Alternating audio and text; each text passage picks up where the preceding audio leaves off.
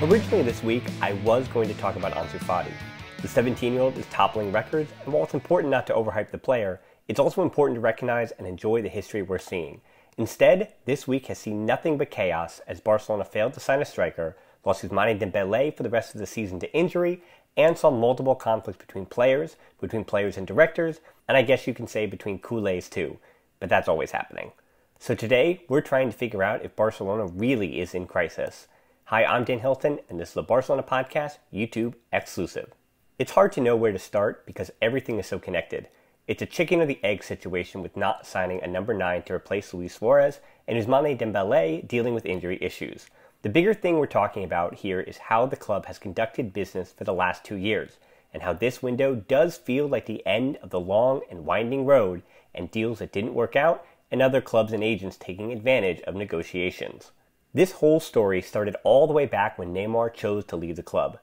Players have the right to make that decision, but I've been on record a number of times saying that while obviously he's talented enough to return, I'm always going to be uncomfortable with the way he left the club and honestly a little bitter about the tough spot he put the club in. What came next is all on the club though. With 220 million euros burning a hole in their pocket, they went out and got Ousmane Dembele from Borussia Dortmund and Philippe Coutinho from Liverpool the following January. Time for some other names.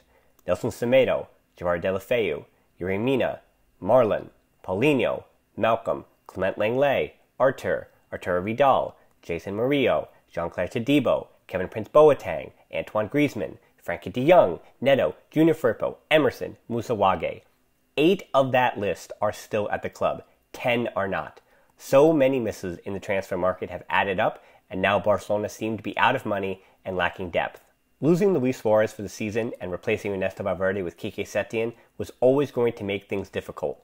But this is the week that signs of cracks are showing, and it's becoming more and more difficult to figure out what's a big deal and what's a non story.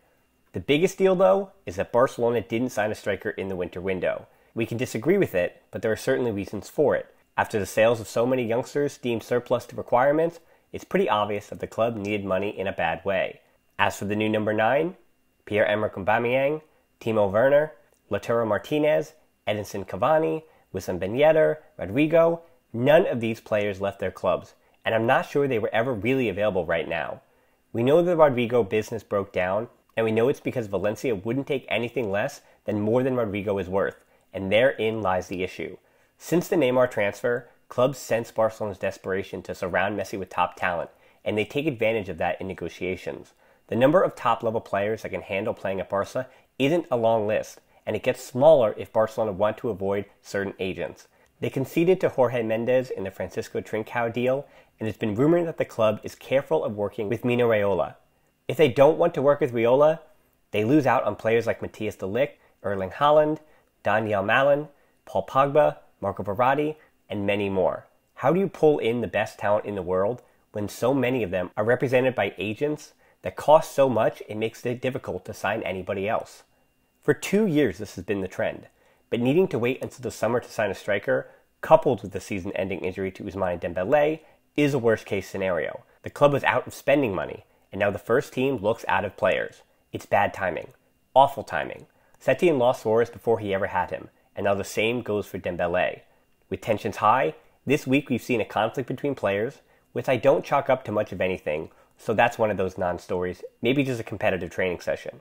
Maybe at the worst possible time, though, Eric Abidal gave an interview where he spoke about everything from Valverde's dismissal to the failure of the transfer window. His answer on the window was clear. Citing the failed Boateng deal, he said that he wanted to bring in a quality number 9 over the summer, when the stars are available.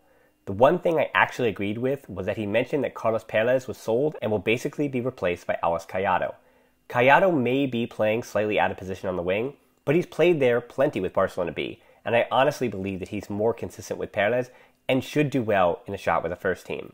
But what's getting the headlines is the line that Abidal said that the players didn't really like not working so hard. And I'm paraphrasing there. This is a line that got Messi to respond on Instagram, which is shocking in itself.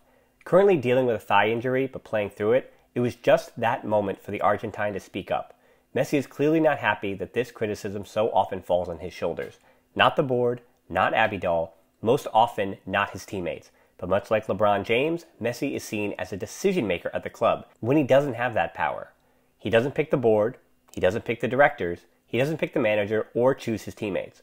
But it's supremely naive to say that his words don't have weight.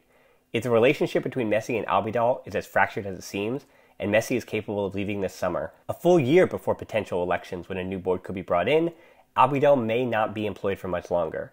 But if Messi's issues go to the board, then what happens first? It's unbelievable to me that these are the questions currently being asked. These are the questions that media with little understanding of Barca from day to day get to fill their shows with. As Culés, it's hard not to take sides. These conversations should have all taken place in private. Not a good look for anybody. The last thing that needs to be addressed this week is the Ousmane Dembele injury update. A complete proximal hamstring tear should keep him out of action until the end of the year. This could be the end of his Barca career, and I'm absolutely gutted for him. Remember, he dreamed of playing for Barca, and to have so much promise be wasted is beyond unfortunate. With Suarez also injured and Carles Perez sold, Abidal was honest that Alex Collado is the next man up. Now this is where the real argument amongst Culés begins. Most Culés say they want La Masia players to get their chance, but then they aren't willing to take the lumps when those players need to be trusted. The lack of a number 9 coming from La Masia is frustrating, but as I said, I believe that Collado could be the backup right winger, and Barca is just going to need to live with that for now. Another option is Barca find a replacement forward within Spain in a 15 day window that they have to ask permission to sign. La Liga and Copa del Rey would be the only place that they can play, but an extra body like Lucas Perez, Borja Iglesias, Angel Rodriguez, or Cristhian Stuani, all of which have their own issues, and potentially not all of which are available, are better than no one, I guess, even though Barca want to avoid another Boateng situation. The final possibility is seeing more of Sergi Roberto on the right wing, something we've seen before and very well could see again with Nelson Semedo back at right back in a 4 3 3. Don't be surprised if this is what you see the most for the rest of the season. For those familiar with this channel, this was kind of an odd YouTube exclusive, not one of my regular list or history features, but it almost feels like a list of calamities, and every time the world is talking about Messi leaving Barcelona, it needs to be discussed. We'll get back to those Ansu Fati records in a future video, but in the meantime, it'd be a big help if you could hit that like button and subscribe, and as always, until next time, Forza Barca.